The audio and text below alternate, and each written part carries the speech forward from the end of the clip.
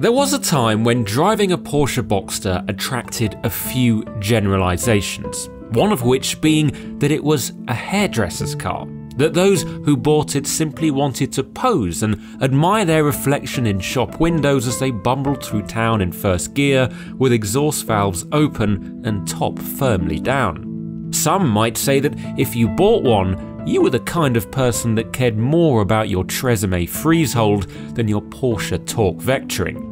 And all I can say is that if that was you, then you're probably not going to like this latest version very much.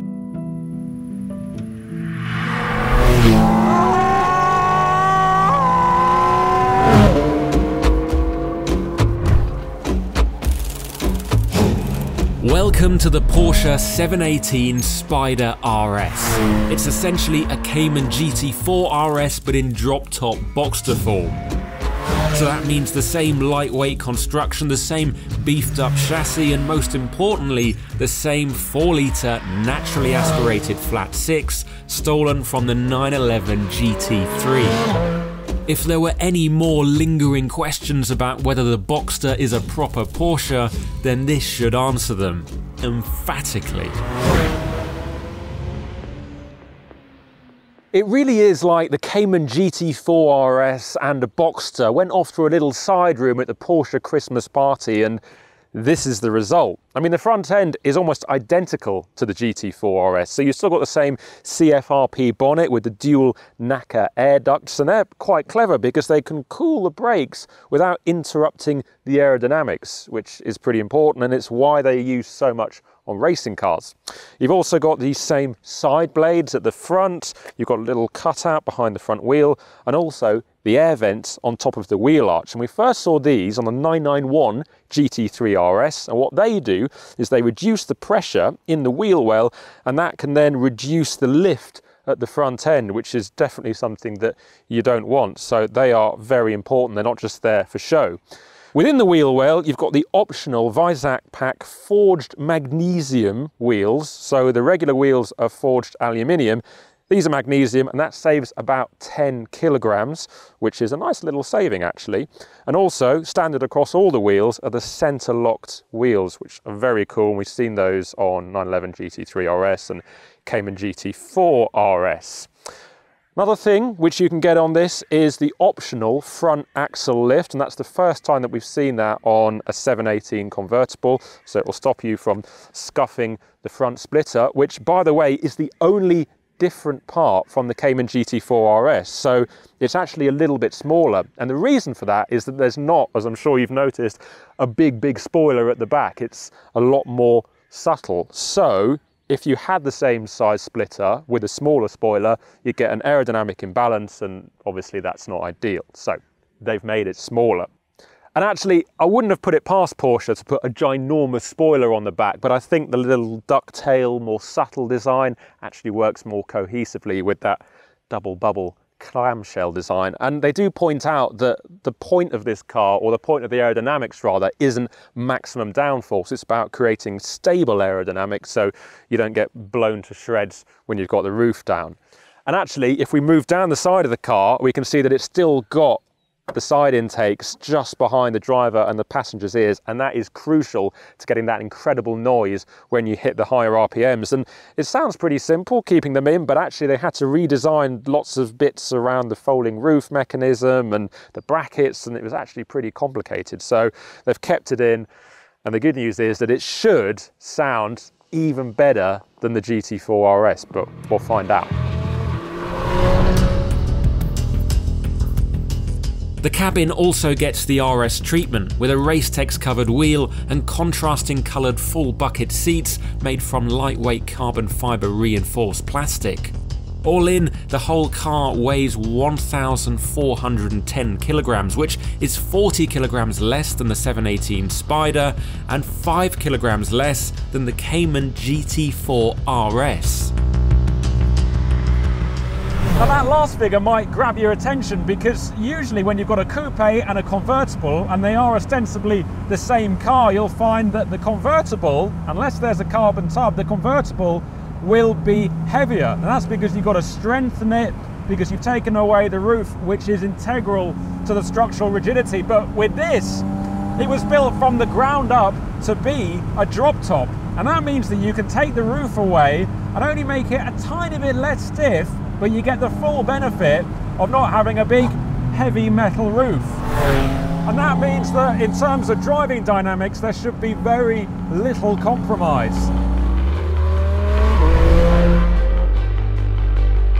Porsche's backed that up by lowering the ride height by 30mm as standard when compared with the 718 Boxster.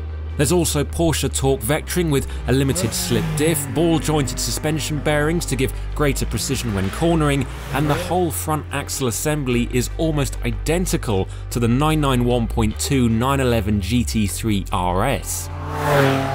You can even adjust things like the camber, the anti-roll and the ride height and Someone from Porsche UK was telling me that a lot of customers come in for a track setup on their GT4 RS and they'll knock the camber to minus four degrees just to dial out a little bit of understeer.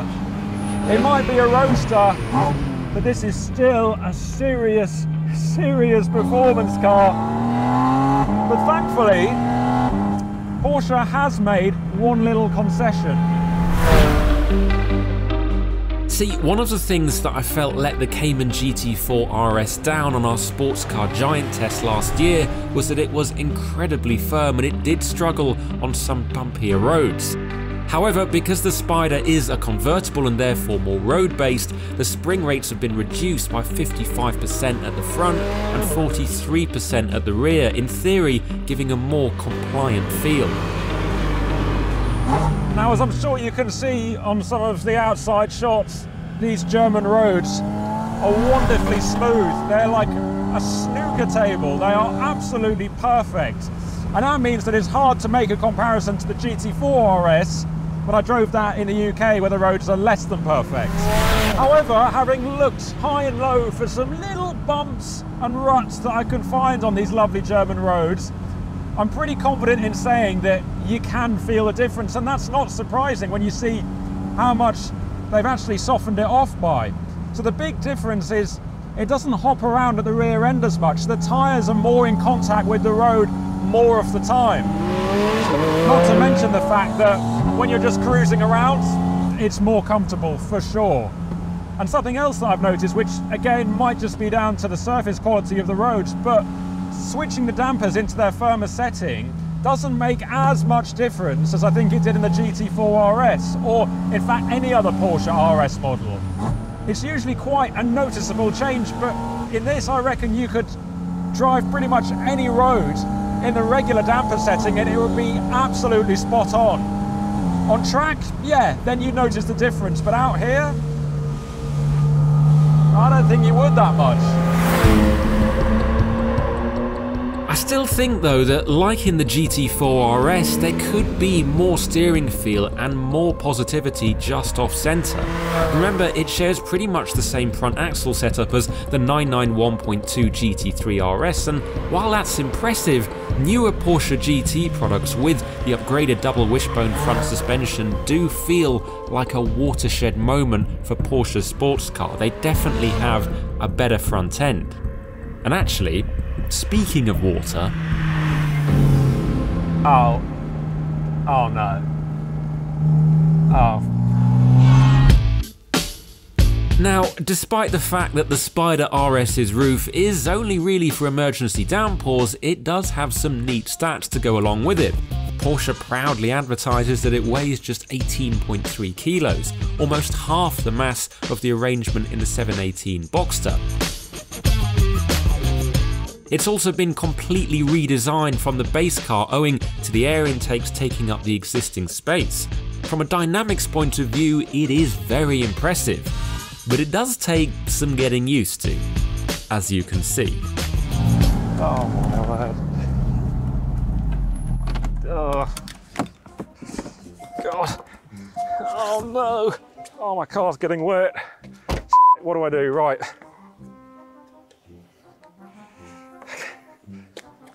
Right. Now it's all slippery as well. Oh no. What am I to do? Open this up. Oh my god.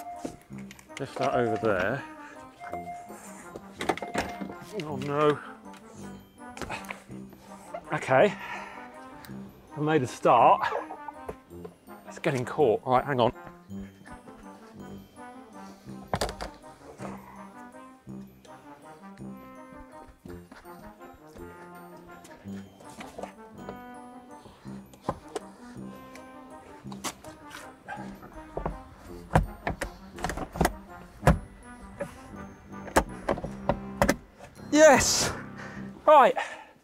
Done that bit.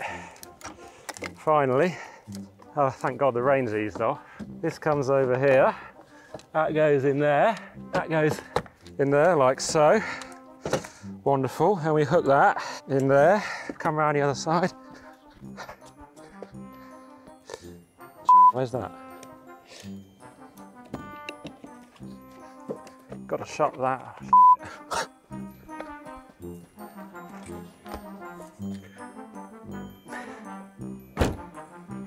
Right, that goes in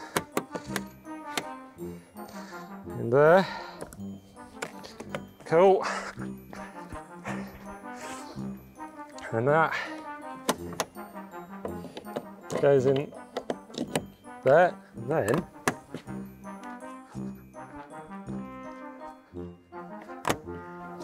right. Ah. Ah, right. In fairness to Porsche, it wasn't designed so the journalists who'd only just learnt how to do the roof today could do it quickly. I think once you've owned the car and it's yours and you've done it 10 times over, you'll be able to do it a lot quicker than me because that, that wasn't very quick and I'm out of breath, but I'm dry.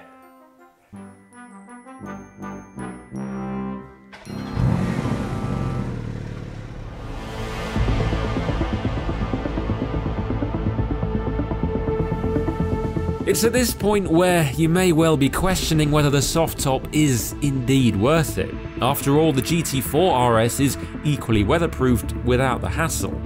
Yet, while the removable roof adds complication, it does allow you to experience that incredible intake sound with even greater clarity.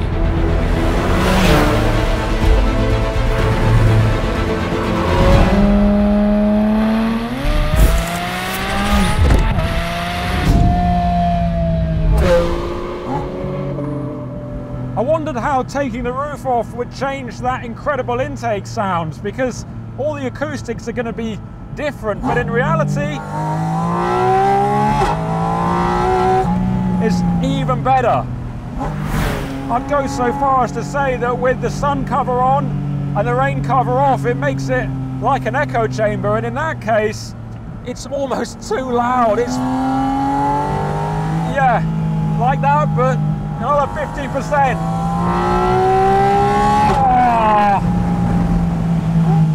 Oh. oh, right, wait, it's going to bounce off the cliff here, or the rock face. Oh. Oh, man.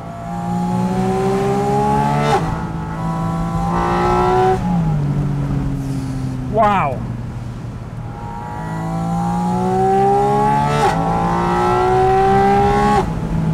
What an engine. 493 brake horsepower at about 8,300 RPM and it will go to 9,000 if you really want to ring it out. It's a little bit less power than the GT3 because the exhaust have got a longer way to go. But should you care? No, no, absolutely not. 0 to 62 miles an hour, under three and a half seconds, 0 to 99 miles an hour in just over seven. And when you say that the speed of this car isn't its strongest asset, then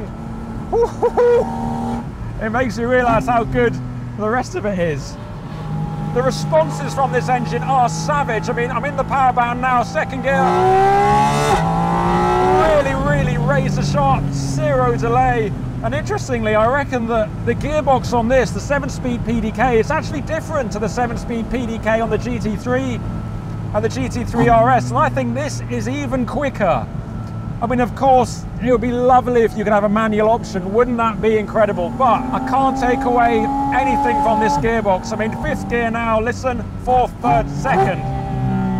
It rev matches perfectly.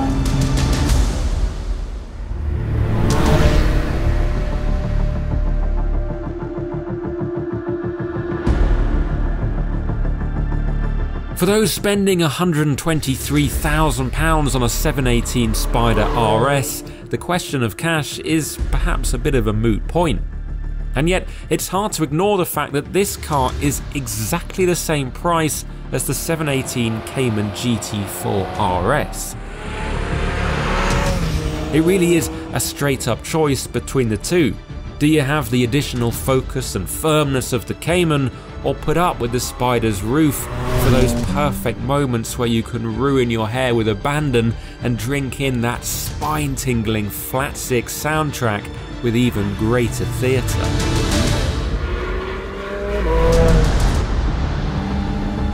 I honestly think I would have this because the amount that you lose in outright sharpness and that little bit of stiffness and the ability to have the stiffer springs, I think that loss versus the gain that you get from having all of this and also having the softer springs that makes it more usable and usable is the key because you want to use a car like this. That's worth it. And honestly if this really is the final combustion engine Porsche Boxster, Porsche Cayman then what a way to go out